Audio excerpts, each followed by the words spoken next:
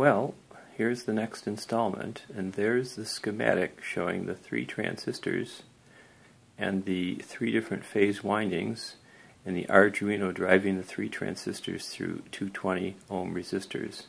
You can see them on my project board, and below that you can see the Arduino. And it's blinking every two seconds in order to send out a step to this particular motor. So I'm going to now turn the motor on and you'll find that it is self-starting. And sure enough, with the blinking light on the Arduino, every two seconds it changes and issues a step.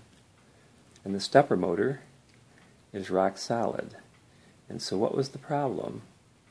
The problem was that I decided that if I could make the sequence step correctly by shorting across each transistor in sequence, that if I was to put the code at two seconds per step, I might figure out what the problem was. And the problem was is that one of the wires going from the Arduino output pins to one of the transistors was not actually making a good connection.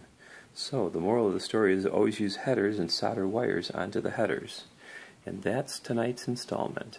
And its success running at 12 degree steps.